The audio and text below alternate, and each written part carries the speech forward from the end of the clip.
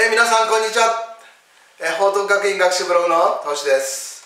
今日は小学校5年生の算数で対分数の引き算について説明します、えー、分母の異なった対分数。ね。この引き算の時には、え分母を通分して揃えてあげます。では例の12と6分の5引く1と4分の3、え分母6と4ですから6と4の最小公倍数12に分母を揃えます。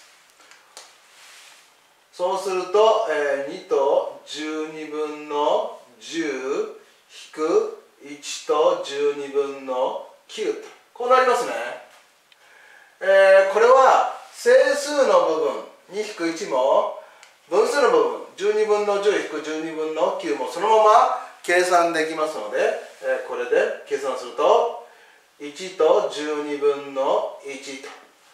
こういうふうに答えが出てきます。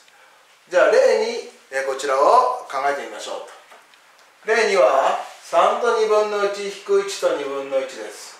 やはり通分して分母を揃えます。分母が3と2ですから最小公倍数の6に揃えてあげますね。そうすると3と6分の2引く1と6分の3と。こういうふうになります。整数の部分は3-1という計算はできるんですけれど分数の部分の6分の2-6分の3これはそのままでは計算できませんよね。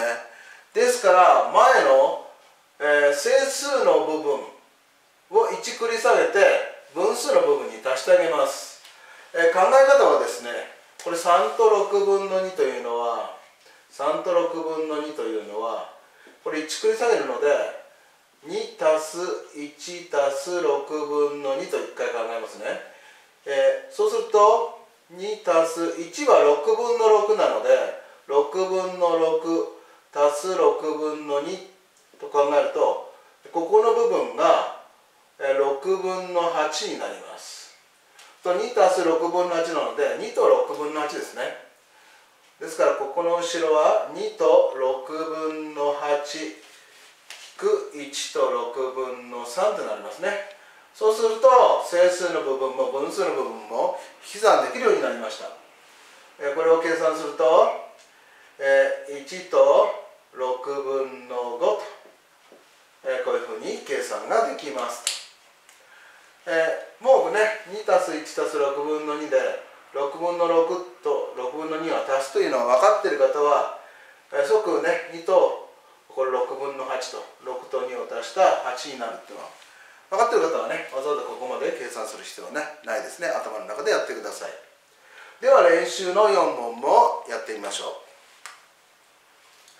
え丸15と3分の2引く2と6分の1、えー、分母を揃えます。最小公倍数6ですから6分の2しますね。5と6分の4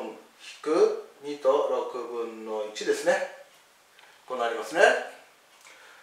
そうすると、えー、整数の部分は5-2で3とで、えー、6分の4-6分の16分の3ですけれどここで割っちゃダメです。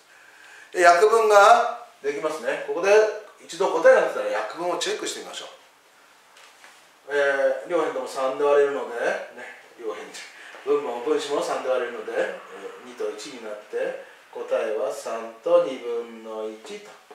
こういうふうに出てきますね。はい丸には3と4分の1引く1と3分の1です、えー、これも、えー、通分して分母を揃えると12で揃いますね。12分の3引く1と12分の4ですね。えー、整数の部分は計算できますけれど分数の部分12分の3引く12分の4というのはできないので前の3から、えー、を1繰り下げて分数の部分に持ってきますと2と12分の1は、ね、繰り下げた1は12分の12になるので3たす12をやると15になりますよね。引く、えー、1と12分の4、えー、こうなって出てきて、えー、この答えはえー、ちょっと下とかぶってしまうので後ろに書くと1と12分の11と、え、こういうふうになります。3番に移ります。7と3分の2引く6と12分の11と。通分すると分母12になりますね。7と12分の8引く6と12分の11と、えー、これもやはり分数の部分が引き算できないので前の整数の部分を1繰り下げて分数の部分に足してあります。と6と12分の20引く6と12分の11と、えー、こう出て、えー、整数の部分は、えー、6-6でなくなって分数の部分が12分の9になります。さあここで、えー、約分をチェックしましょう。約分できますね。